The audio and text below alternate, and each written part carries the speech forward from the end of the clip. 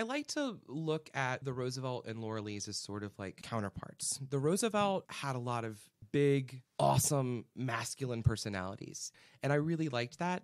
But it didn't really sound like my voice, even though I'm a big burly man.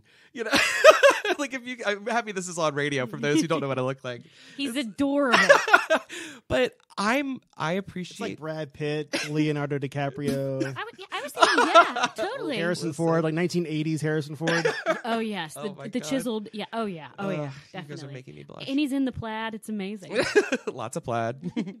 Back on track. Let's yeah, go. exactly. But I can't focus. I know, Rogue. It's tough. Kendra and I sort of were looking at Laura Lee's as being like the the lady counterpart of the Roosevelt. We we wanted to do to interpret a restaurant in a way that was a little less about male ego and more about feminine sensibilities. So what does she do? She hires me.